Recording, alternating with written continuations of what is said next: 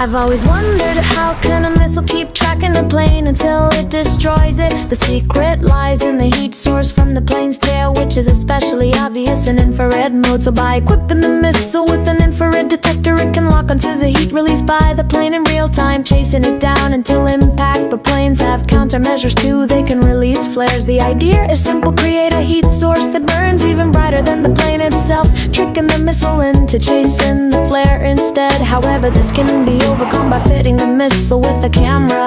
In that case, the missile doesn't just detect heat It can also recognize the plane's outline Which makes the plane's flares much less effective.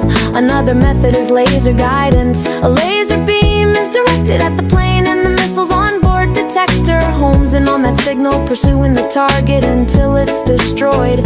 This method is incredibly precise But it comes with a drawback. The laser must continuously